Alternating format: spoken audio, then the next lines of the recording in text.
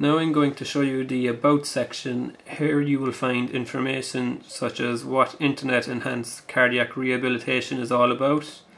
You will also find out information on the goals of the IECR website, such as enabling and educating, sharing and chatting, uh, monitoring progress, and there is also in this section here you will see that there is a link to the IECR team, you need to be logged in to view this page as this will contain uh, pictures of everybody involved with the IECR team and also their contact details.